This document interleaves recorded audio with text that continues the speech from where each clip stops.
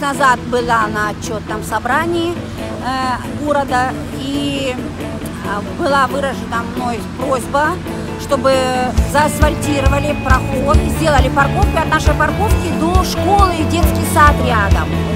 И наша просьба была учтена, и в очень короткий срок эта работа сделается. Мы довольны, мы рады, что работы эти идут. Но я как жилец этого дома и водитель транспортного средства, э, мы нуждались в этой дороге давно. Видим, что э, на лицо, что наши слова услышаны. Работа ведется очень оперативно, и мы очень ну, для нас это очень приятно, для самих водителей, для жильцов этого дома, для ребятишек, которых водят в садик. Это все было услышано, оперативно все сделано.